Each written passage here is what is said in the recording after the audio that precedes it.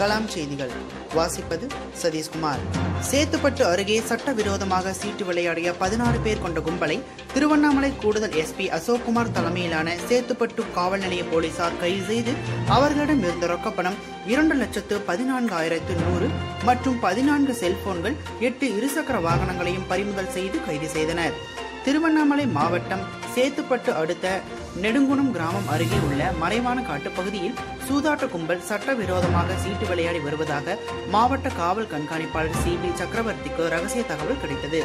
மாவட்ட காவல் கண்காணிப்பாளர் உத்தரவின் பேரில் திருவண்ணாமலை கூடுதல் எஸ்பி அசோக்குமார் தலைமையிலான சேத்துப்பட்டு காவல் நிலைய போலீசார் சென்று சூதாட்டத்தில் ஈடுபட்டு சீட்டாட்டத்தில் ஈடுபட்ட பதினாறு பேர் கொண்ட கும்பலை கைது செய்தனர்.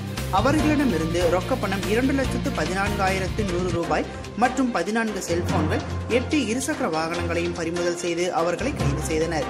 சேத்துப்பட்ட வட்டத்தை சேர்ந்த ஆறு பேர் செஞ்சி வட்டத்தை சேர்ந்த ஏழு பேர் மேல்மலையனூர் வட்டத்தை சேர்ந்த இரண்டு பேர் வந்தவாசி வட்டத்தை சேர்ந்த ஒருவர் உள்ளிட்ட பதினாறு பேர் மீது வழக்கு பதிவு செய்து கைது செய்யப்பட்டு ஆரணி ஒருங்கிணைந்த குற்றவியல் நீதித்துறை நடுவர் நீதிமன்றத்தில் நீதித்துறை நடுவர் மகாலட்சுமி முன்பு ஆஜர்படுத்தி நீதிமன்ற காவலில் வேலூர் மத்திய சிறையில் அடைத்தனர்.